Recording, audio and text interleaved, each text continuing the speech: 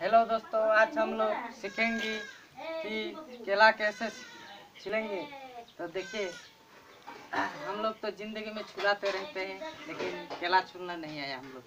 तो आज हम लोग सीखेंगे कि कैसा केला छिलेंगे। तो देखिए, अगर आपने मेरे YouTube चैनल को नहीं सब्सक्राइब किया है तो मत कीजिए, क्योंकि मेरा चैनल ही नहीं है।